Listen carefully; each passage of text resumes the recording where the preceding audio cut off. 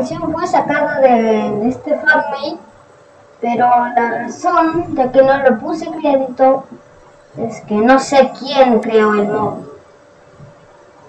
Así que voy a poner créditos a no, porque no sé quién hizo la canción y el fanmade. Ok. Pero créditos a quién la hizo.